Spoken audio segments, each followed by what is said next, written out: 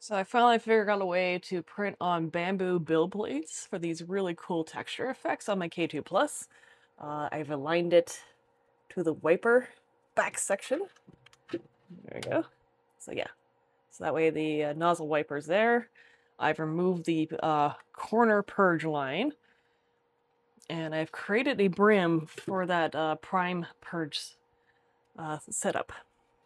Oops. And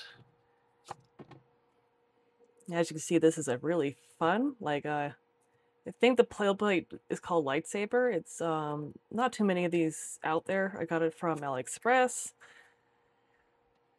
But I just wanted to play. Oh. so this one is a very pixelated um, texture, and that's just from the original uh, laser engraved on here.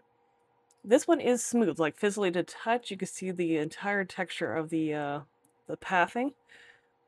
I couldn't dial this in, but it did completely take everything. You could just barely see that there's a little bit of texture. I can't feel it, but it is in there. So I'm going to have to play with it a little bit more.